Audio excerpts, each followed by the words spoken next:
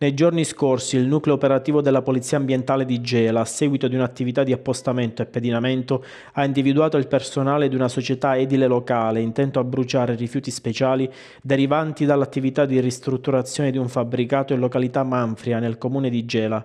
I militari, dopo aver accertato mediante diversi giorni di appostamento che si trattava di una consuetudine nell'ambito della gestione dei rifiuti prodotti dalla ditta, sono intervenuti prontamente.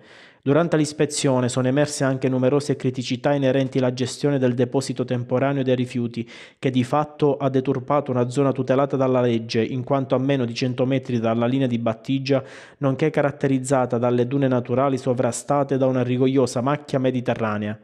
L'area di circa 1000 metri quadrati è stata posta sotto sequestro preventivo e al titolare della società è stato contestato il reato di combustione illecita di rifiuti speciali.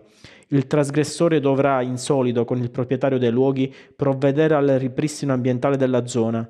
Intanto resta costante l'attenzione alle tematiche ambientali da parte del personale della Capitaneria di Porto di Gela su tutto il territorio, con particolare attenzione sia all'attività repressiva che preventiva.